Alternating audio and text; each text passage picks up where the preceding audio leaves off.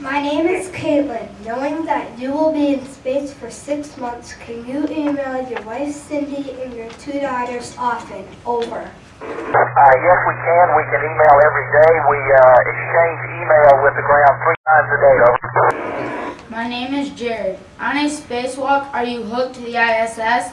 If not, how would you get back if you floated away? Over. Jared, yes, we're connected with a wire, a very small wire that goes out on a reel, sort of like a fishing uh, reel. That connects us.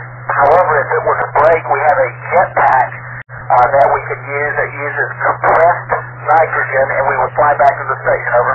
My name is Kara.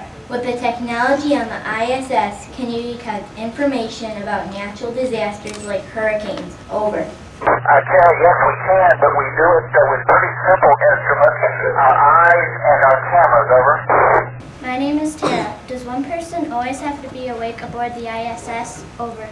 Fortunately, no. There are only two of us on board right now, and we wake at the same time and we go to sleep at the same time. We depend on the ground and the computers to watch the space station while we're asleep. Over. My name is Marissa. Do you ever run into space debris or comets on the ISS? Over. Marissa, we've never run into comets, although perhaps we've run into pieces of comets. We do occasionally collide with very small pieces of dust that causes minor damage to the space station, but nothing serious. Over. My name is Anna Lynn. Last week we made ecosystems with fish. Could they live on the ISS? Over. Anna Lynn, if you have the right ecosystem, yes, they could live on the ISS. Uh, uh, not on the space station, but on the shuttle, we have carried fish before. Over. My name is Alex. Does the ISS run only on solar power?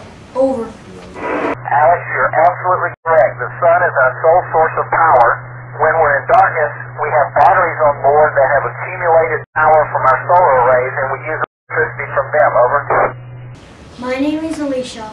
Will you celebrate any of the holidays aboard the ISS? Over. Alicia, we've already celebrated Thanksgiving. We will celebrate our Christmas, uh, United Christmas for the United States, this coming Sunday.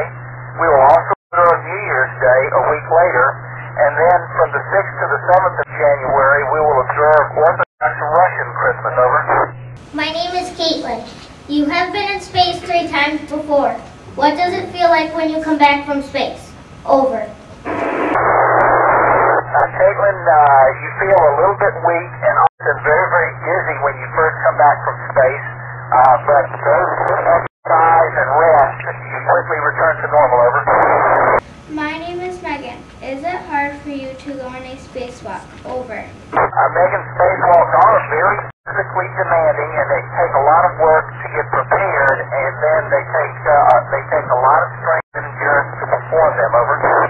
My name is Jordan. Would the grass we grow in our terrarium grow on the ISS? Over. Jordan, to provide the right conditions, it probably would. We would have to provide nutrients and sunlight. Over. My name is Amanda. You wear glasses. Does space affect them like fogging up? Over. Amanda, yes, it does sometimes. Uh, my glasses get oil from my skin a little more quickly than on the Earth, and if my face is wet, they do fog up because we don't have the same breezes uh, to keep them clear. Over. My name is Jenny. How much time do you have to do research aboard the ISS? Over.